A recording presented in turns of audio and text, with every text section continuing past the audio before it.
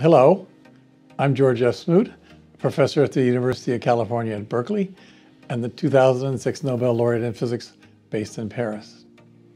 The technology we developed in Nuna leads to amazing skin rejuvenating results. The fact that Nuna Max can be used together with any skincare is a big advantage for skin rejuvenation. Nuna uses red light therapy to treat a number of medical conditions. The red light penetrates the skin to the exact depth where wrinkles are formed and naturally boosts collagen and fibroblast production. It is the only handheld red light therapy technology that can go to that level. Patients report seeing measurable improvements for concerns like wrinkles, lines, pigmentation, skin textures, pores, and overall skin health.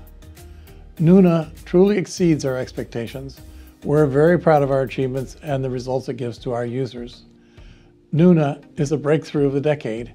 It is a really powerful facial treatment, a quick, easy, and safe device that can rejuvenate the skin in just a few minutes and can be done at home anytime.